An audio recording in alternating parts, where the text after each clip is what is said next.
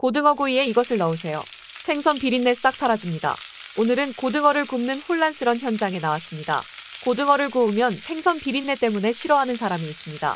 아이들도 그렇고 부모님도 먹지 않으려 합니다. 구이에 사용할 고등어는 잘 손질된 자반을 사용합니다.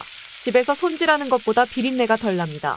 프라이팬에 기름을 넣고 달굽니다. 고등어 한 마리를 살이 있는 쪽을 아래로 하여 프라이팬에 넣습니다. 노릇하게 익으면 뒤집어서 껍질 쪽을 바삭하게 튀기듯 굽습니다.